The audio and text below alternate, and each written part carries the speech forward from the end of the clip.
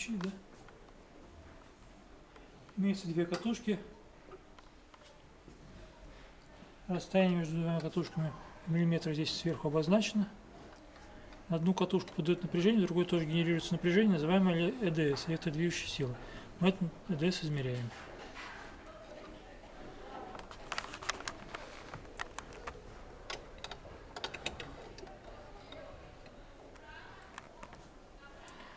Подаем напряжение с генератора. Выходное напряжение измеряем вот вольтметром. Здесь, смотрите, вся шкала 10 вольт. Здесь деление на наружной шкале. 1 вольт деление по наружной шкале. Сейчас установлено 4 вольта. 4 вольта подается на одну катушку. Вот мы меняем расстояние между концами катушек. У нас меняется ДС. ДС смотрим по второму вольтметру. Здесь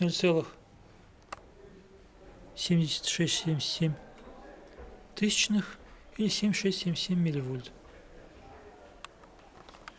Мы меняем расстояние между концами катушек и записываем значение DS. Потом катушки надо поменять местами. Для этого переключатель вот переводится в противоположное положение. Когда у нас в таком положении ручки у нас ПК генератор подает напряжение на первую катушку, по вольтметру снимает DS со второй. Когда так, то наоборот. Генератор подает напряжение на вторую катушку, вольтметр снимает DS с первой. Среднее положение такое не ставьте, либо обе ручки вправо, либо обе влево.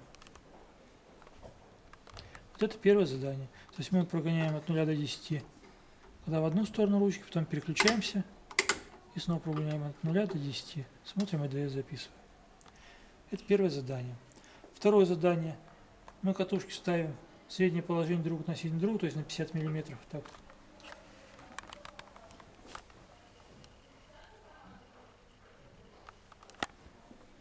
И меняем, меняем значит, правую нижнюю ручку на генераторе, меняем выходное напряжение. От 2 до 4 вольт через полвольта. Так вот 2, 2,5, 3 и так далее.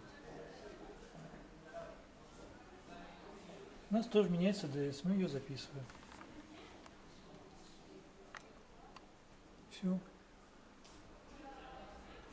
Это второе задание.